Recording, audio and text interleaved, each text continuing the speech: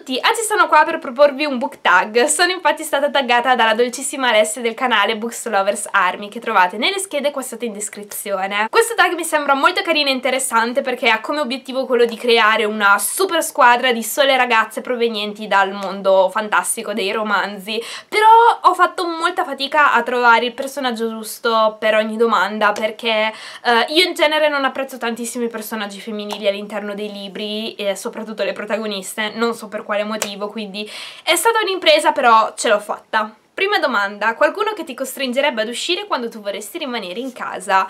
Vin dalla serie Mistborn di Brandon Sanderson. Questo è uno dei miei personaggi femminili preferiti in assoluto, quindi dovevo assolutamente includerlo nella mia girl squad.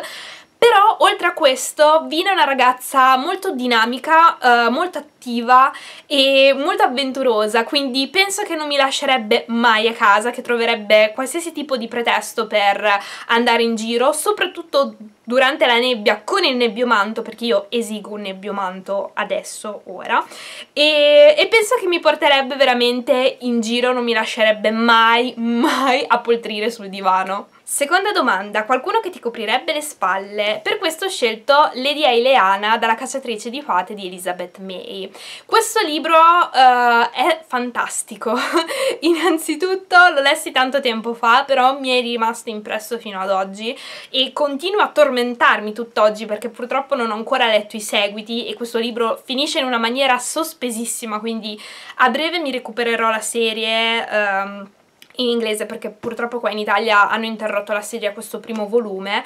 E una delle cose che mi piace di più di questo libro è appunto Aileana, una ragazza bellissima dell'alta società che uh, caccia le fate appunto, che in questo mondo sono degli esseri uh, cattivi, terrificanti.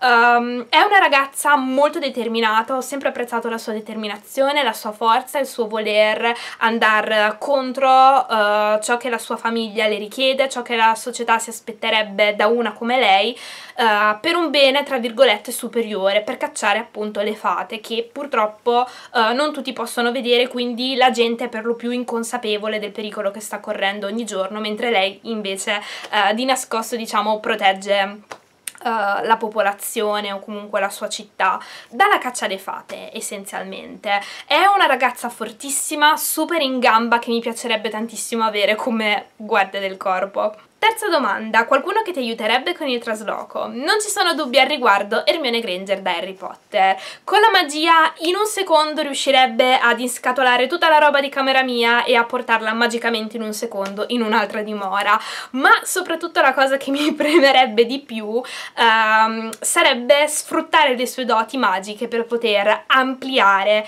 uh, casa mia. Non so se avete presente uh, la tenda durante la partita di Quidditch uh, del Calice di Fuoco, proprio all'inizio del film o del libro, quando vanno a vedere la partita di Quidditch c'è questa tenda piccolina che dentro invece è immensa. Ecco, mi piacerebbe avere una casa del genere. Quarta domanda, qualcuno con cui condividere i tuoi problemi, una brava ascoltatrice.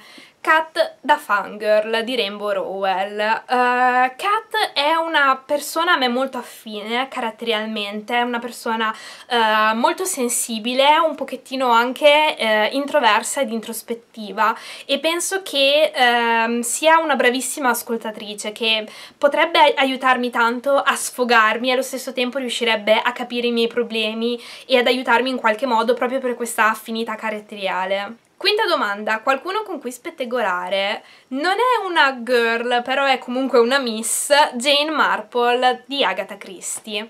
Questo personaggio mi è venuto subito, ma proprio subito in mente perché è un po' pettegola, uh, Miss Marple, però è un'attentissima osservatrice, quindi a me piacerebbe tantissimo parlare con lei e tra virgolette spettegolare, proprio perché, per capire come fa ad intuire così tante cose da una persona semplicemente osservandola ed essendo poi una persona persona navigata che sa tante cose nella vita, mi piacerebbe apprendere un po' della sua saggezza, della sua perspicacia e... Um, fare tesoro di tutti i consigli che ha al riguardo per diventare un pochettino più perspicace, eh, in generale perché mi interessano tanto le persone e la loro psicologia e il loro comportamento ed è una cosa che interessa anche a questo personaggio, è curiosa tantissimo verso l'umanità, quindi mi piacerebbe confrontarmi con lei su questo. Sesta domanda, qualcuno con cui andresti in vacanza? All'inizio ero decisamente in crisi perché io ho avuto bruttissime esperienze andando in vacanza con delle ragazze, quindi um, non riuscivo a trovare nessun personaggio a me affine in questo senso. Poi, lampadina che si illumina, mi è venuta in mente Claire, da La straniera in generale, la saga di Outlander di Diana Gabaldon.